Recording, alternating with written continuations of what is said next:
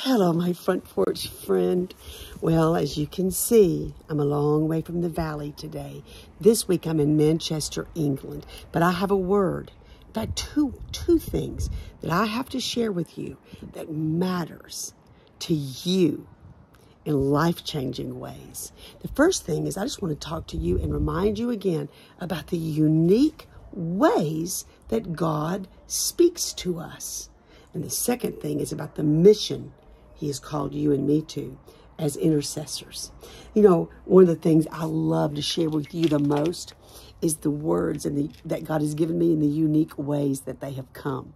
I love that because, you know, in, in Jeremiah 33, 3, one of my favorite verses, it says, it's kind of like God's 911, you call on me and I will answer you. In other words, he will speak. You should expect to hear from God when you call on God. Two things there. Number one, it's important to call on him. Don't just assume he's going to come and do something. No, remember John Wesley, God does nothing in the earth except in response to prayer. Is what John Wesley said, and it's true. God responds to prayer. God responds when we call out to him. He says, when you call on me, I will answer you. When you call. Now, the next thing is expect an answer. And the thing I love about him so much is the unique way he speaks. He speaks your language and sometimes in amazing ways. That's why I, I, love to tell you my stories of, of how God spoke to me one time. Remember through the feather. He spoke to me through the crown. He spoke. I, I share all those stories. When, you know, you know, you and I have talked about a, a lot because it, I wanted to encourage your faith that if God will speak to me in these unique ways, he has no respect of person. He knows your language too. And he will speak to you. Once you ask him, start looking for his answer. Just start looking and listening, looking and listening. You will hear him. One of the most profound, impacting ways God has ever spoken to me in my life was this journey to Manchester, England. Now, I know you're like, well, you know, that doesn't relate to me. Don't turn this off. It does relate to you. And, and I believe that's why you are watching this right now, is because God's heart for the harvest, God's call for laborers speaks to you and to me.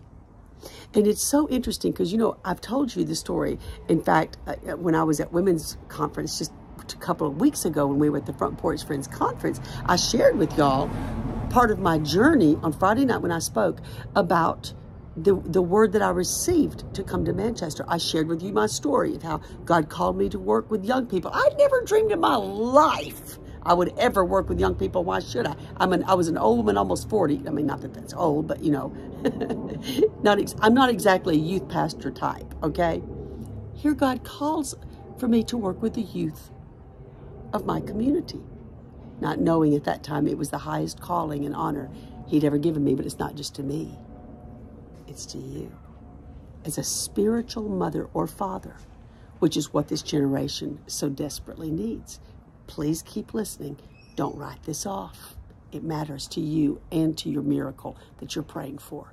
Because in the beginning days when God called me to work with young people and I was giving him all my excuses about why I shouldn't do that, he said what he knew would hook my heart.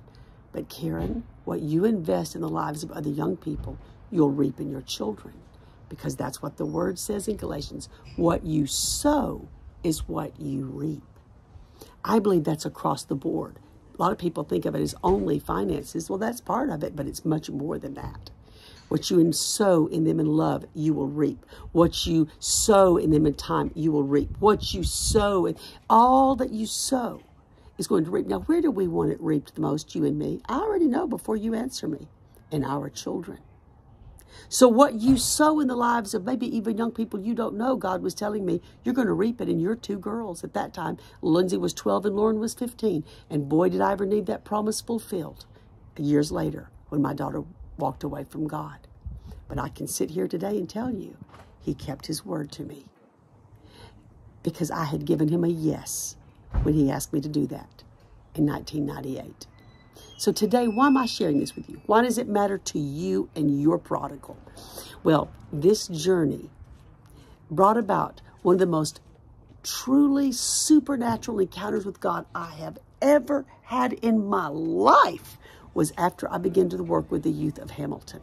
Then God whispers and opens the door and he said, Karen, I know I told you it was your community, but your community is actually the world. And he opens the door to a global call that involves you too. And I want to share with you this story because I'm sitting here today in Manchester, remembering the way God called me here. And now I'm understanding it wasn't just me. Because now God has brought you in my life as a front porch friend.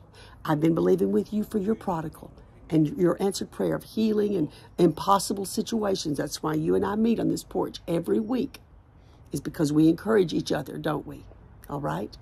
Well, I believe the next phase of where we're going, because I believe you're this close to your miracle. I believe it is tied to embracing the heart of God and his heart for harvest and souls. That it's not only about your prodigal only, it's about your prodigal plus one and two and three that God's going to give us in this great harvest of souls that we're going to be a part of praying in. All right? So I want you to watch this. I'm about to go to downtown Manchester right now. I'm going to go down right on the streets of where I heard the call the first time. And I'm going to share with you just a little bit of the journey. And at the end of this, I've got to show you something that we found today. Oh my heavens. A door that opened. And again, this is not just my story. You are in it too. You're going to be right dab in the middle of it all. So I don't want to I don't want to share this without you being here with me. So come with me right now. We're going to downtown Manchester together and I'm going to pick up my story that I'm about to tell you right there in the streets. Comment, comment, comment all the way through this and let me know what you're thinking, okay? I'll meet you in downtown. I'll see you in a second. Hang on. Come on for the ride. So here I am in a spot and in a city that means so much to me. It's just like being in the middle of just a God moment. I'm, of course, in Manchester, England, downtown. I am literally on the campus of the University of Manchester here, which, of course, really in, includes all, just about everything as far as you can see dorms and, and, and just all of these buildings. It's a massive, massive university, of course, a very large city. But I just can't help but just remember as I'm walking these streets the supernatural way that God revealed to me his heart for Europe and his plan for this city and this region. And of course, if you were with me at the Front Porch Friends Conference a few days ago, I shared with you a lot of that journey. And but even just for those of you that weren't there, and for the fact that I'm standing right now on the sidewalk of where I was in 2004 and 2014, let me just recap it for you quickly. Stay with me, please, in thought and mind. So you know, in 2004, I came here to sing for a conference. And, and, I was singing in this large healing crusade with Benny Hinn. I was ministering. We had just finished the crusade. I was in downtown Manchester, right here, in some high rise hotel. I'm not even sure exactly where the hotel was, but it was somewhere in downtown Manchester. It was probably, I don't know, it was in the morning hours, it was late, midnightish, even afterwards. And I was in my hotel room looking down on the streets of Manchester. And, and I was alone. There was no one with me. But for some reason, of course, Lindsay's here with me right now, my beautiful angel, answered a prayer. And um, but I was on the, in this hotel looking down on the streets of Manchester when you know I see this throng of young people. I mean, it's hundreds, if not thousands, of young people in the streets of Manchester, walking in and out of the pubs. And it's a long story. I won't go into all the details. But my heart was so gripped by the condition of the youth of this region that I was looking at, and, and my heart had already turned to the youth the call that God had given me to reach young men and women. I just came down the streets of the city. I began to walk among these young people and just begin to talk to them. And so, it, it, again, it was late at night. I'm alone, but my southern accent worked for my good that day. And I just began to talk to these kids and it kind of drew them around me. And they were like, you know, what are you doing here? Where are you from? And I was telling them, you know, I'm from America and blah, blah, blah. And so then, of course, they were like, well, what are you doing in Manchester? So I said, well, I'm here to sing. So then they were like, you know, oh, sing, you sing, you sing, sing for us. So I started singing, took advantage of the audience God had given me. So I just started singing to the kids that were standing around me on these very sidewalks. And I began to sing that night to them. Oh, how he loves you and me. Oh, how he loves you and me. He gave his life. What more can he give? Oh, how he loves you. Oh, how he loves me. Oh, how he loves you and me. And I looked up, and those kids had tears in their eyes. And the Spirit of the Lord moved in that moment, drops down in a little crowd of young people in the middle of Manchester. And when I left this city that day, I knew someday there'll be a ramp in Manchester, England. Of course, that's the place we have in Alabama, our ministry center that ministers to young people from all over the nation and now nations. Well, now stay with me, stay with me. So then God begins to send young people to the ramp from Europe, especially from England and even Manchester, sends them to Alabama, to Hamilton, Alabama, from England, just because they heard of us on the internet and they came.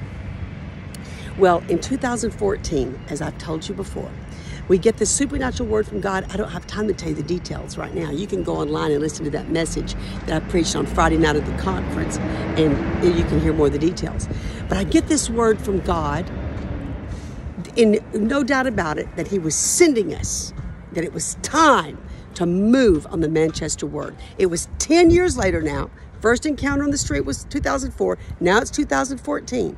And the crazy thing was, Lindsay had just left. I mean, it was it was a strange time. So the battle had had begun with my daughter, but the word from God has come to be fulfilled. So I get this word. We're supposed to go. We're supposed to go right now. So I met with these young men that are on my staff. My son-in-law Samuel, another young man named Joe Reeser. I said, guys, we have to go to Manchester and just scout out the land. God is calling us to go. We're going to go. So this is so amazing. So I looked at Joe. I was looking in the office. I said, Joe, book the tickets right now. Go book the tickets. We need to leave in two weeks. So I went to a building in downtown Hamilton. I'm not going to go into all the details. I was cleaning out a building no one goes in to get it ready to build dorms for our ministry students. I am cleaning it out. There's there's boxes everywhere. No one goes in this building. No one. Okay, it's been closed for years and years and years and years. I'm even wearing a mask only because of the dust from being in that old room. So I picked up this box, and when I picked up the box, lying on the ground was a little piece of white paper neatly folded. I opened the paper to see what it was, whether I should throw it away or what I should do with it.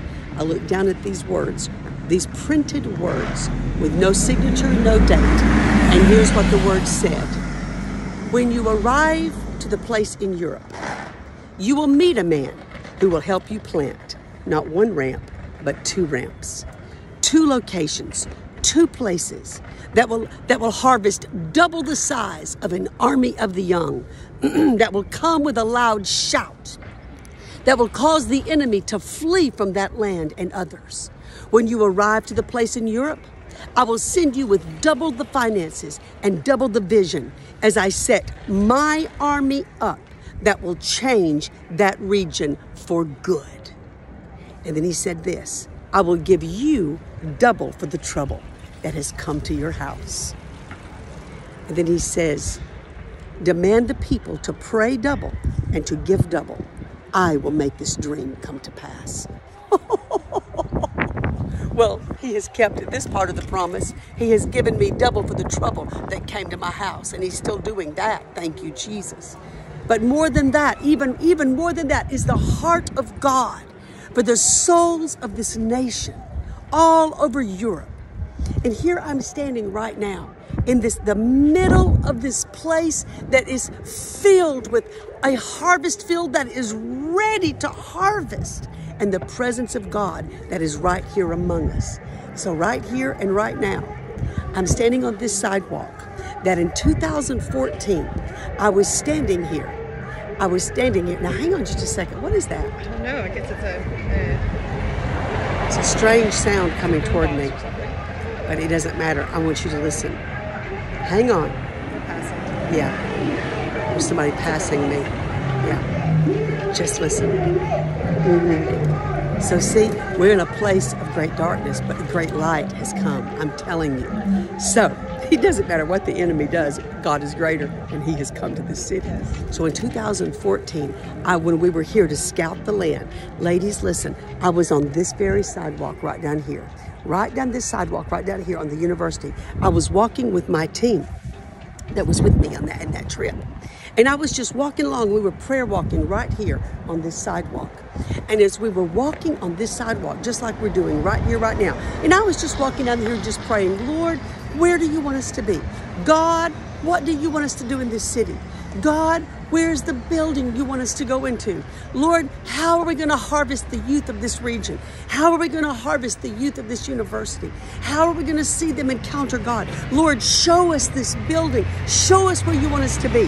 While I'm saying that, I whirled around to my team just like this right here. And I looked at the team that were walking behind me and they were praying too. And I said, guys, I said, I just keep remembering that game that we used to play when we were kids. I said, I just feel like I hear this. You're getting warmer.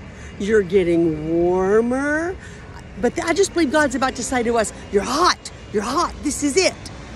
A few days later, of the same week, we had gone up into Scotland, which of course is not very far from here, and we were standing with a group of ministers that are from that area, small group in a small room, and we were standing encircled we were in a circle holding hands praying.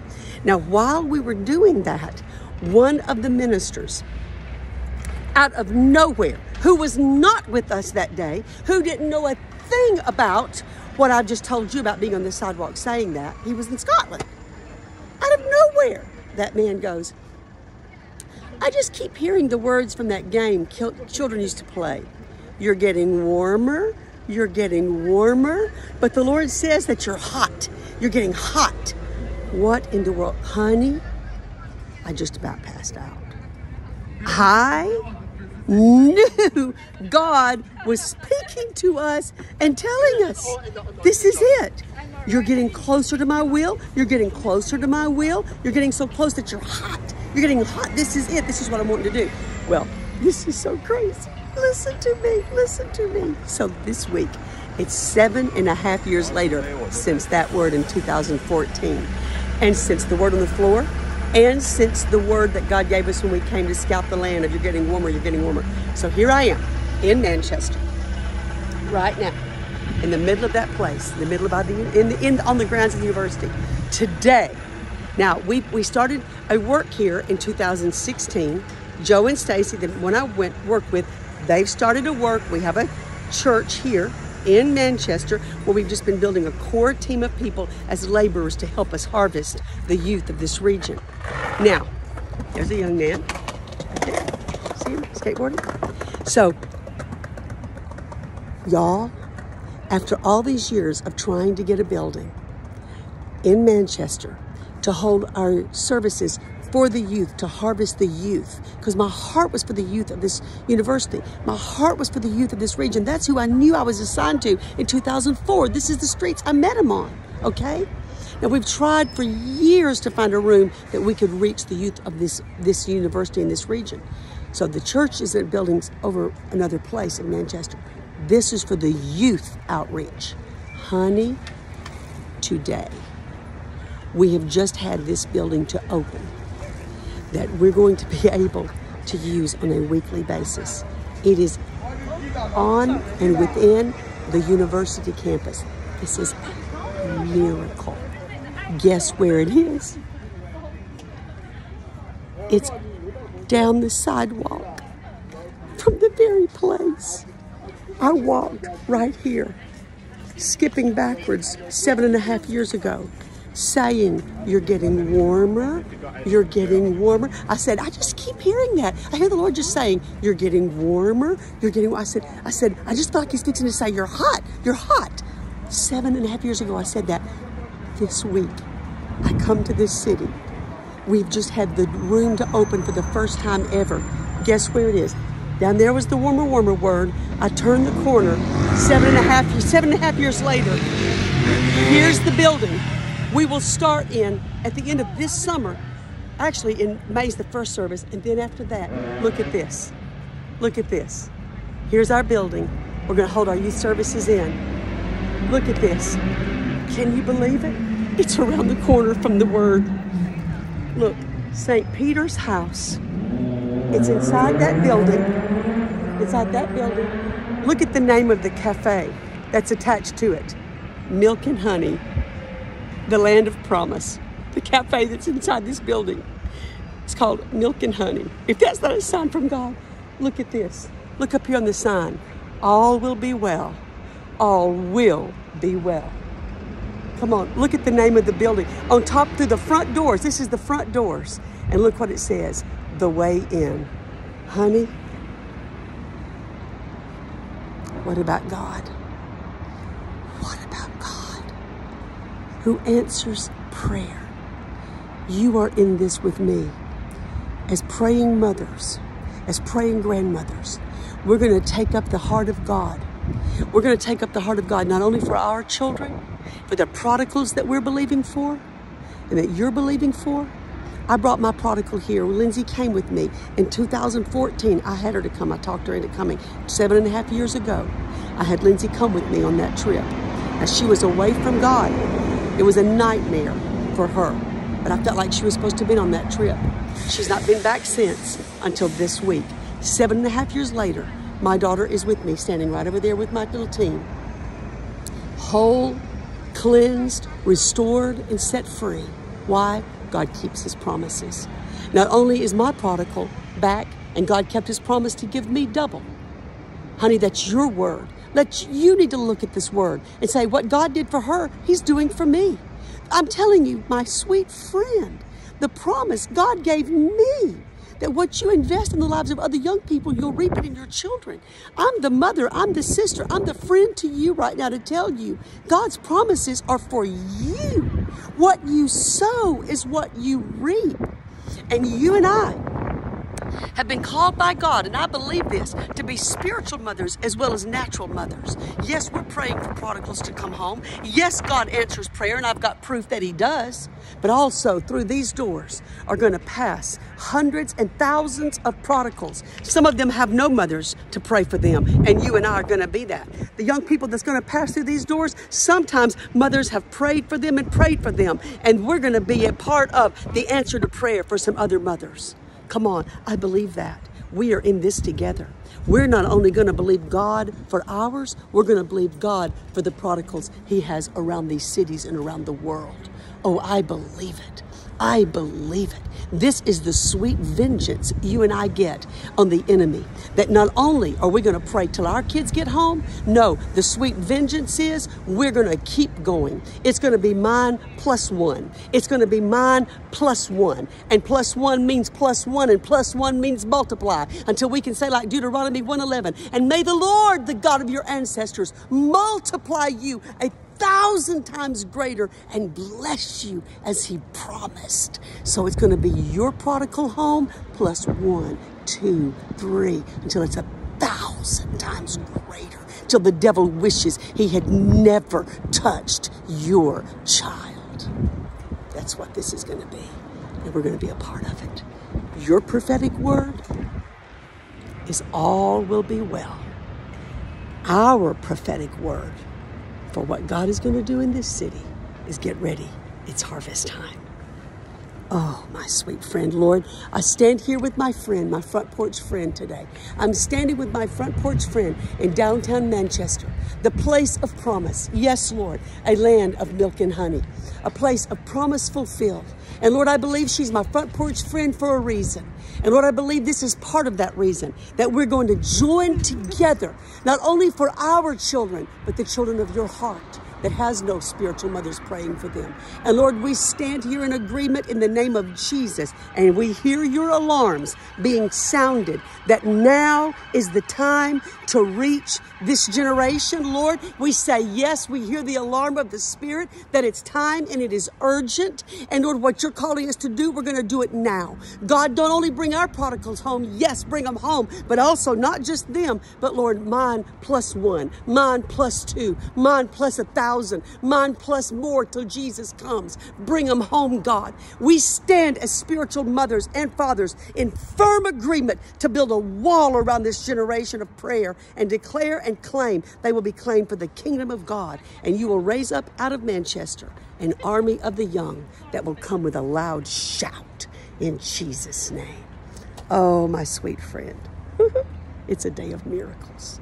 It's a day for your miracle. And you know what? It's a day for ours, for His glory. I want to decree one last thing over you that I hear today. And it's not only the word God gave me that what you invest in the lives of the young people, you'll reap in your children. It's also this promise God gave me. And I want you to hear this in the Spirit in Jesus' name. That the Lord said, I will give you double for the trouble that has come to your house. He gave me that promise in the word concerning Manchester when my prodigal was away. As you have joined his mission in his heart for the harvest of souls globally, I believe his promise to you as it was to me. I will give you double for the trouble that has come to your house. It's time to, for you to start claiming double. I get double. Double is mine. Double the joy, double the peace, double the restoration, and double the love in my home. You can do that. That's your word too. It's our day of miracles. It's our day of harvest. I love you, my friend. I will talk to you very, very soon with a great report. In Jesus' name. Until then.